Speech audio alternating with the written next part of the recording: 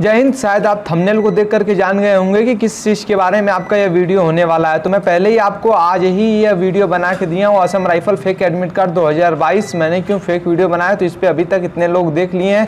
तो अभी आपका किस चीज़ के बारे में है आपको सबसे पहले ही पता हो गया है थमनेल देख करके। तो चलिए मैं आपको दिखाता हूँ असम राइफल का डायरेक्ट मैं वेबसाइट को ओपन कर लेता हूँ। यहाँ पर देखिए आपका वेलकम टू असम राइफल आपका जो है कि एडमिट कार्ड का। एडमिट कार्ड के बारे में बताने जा रहा हूँ आपका एडमिट कार्ड का क्या है? यहाँ पे देखिए आपको दे रहा है कि join Assam rifle read more पे मैं क्लिक करता हूँ। रीड मोर पे क्लिक किया तो नेक्स्ट पेज पे आगे इस पेज को मैं क्लोज कर दे रहा हूँ।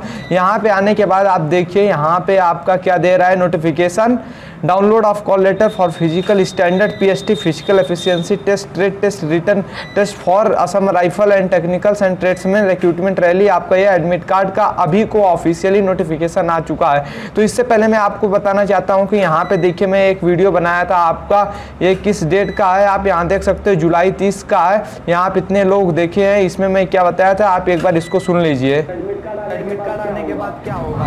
आपका एडमिट कार्ड जो है कि 12 अगस्त 2022 से 20 अगस्त 2022 तो आपने ये छोटा सा क्लिप देखा है और आज आप अपना डेट देख लीजिए 11 तारीख। जो डेट आपको बताया था, उसी डेट के एक दिन पहले ही आ गया और आप जब शाम हो ही चुका है तो आप मान लो कि अब जो भी है तो आपका एडमिट कार्ड आज ऑफिशियली रिलीज़ हुआ है तो आप यहाँ पे क्लिक करिए। यहाँ पे क्लिक करने के बाद आप यहाँ पे देख सकते हो, ये सब पूरा है और यहाँ से आप जाके अपना डाउनलोड कर सकते हो और मैं लिंक दे दे रहा हूँ डिस्क्रिप्शन बॉक्स में और नीचे डिस्क्रिप्शन बॉक्स में लिंक है, वहाँ से आप जाके एडमिट कार्ड को डाउनलोड कर सकते हैं। मिलता हूँ नेक्स्ट वीडियो में। जय हिंद।